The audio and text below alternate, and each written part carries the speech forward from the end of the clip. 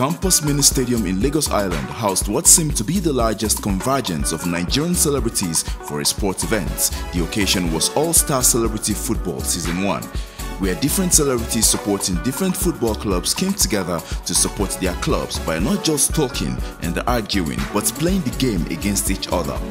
The teams represented were Arsenal, Chelsea, Manchester United and Barcelona, but Arsenal emerged the winner of the tournament with a 2-0 victory over Chelsea. Celebrity Chelsea team came second while Barcelona came third. Comedian Ayo Makun, who is an Arsenal fan, was made the MVP of the football tournament. I won most valuable player for tonight and uh, that makes me feel good and it's not the first time that I'm winning it. I'm going to win even more. So thank you to lovers of the brand, and I appreciate you guys.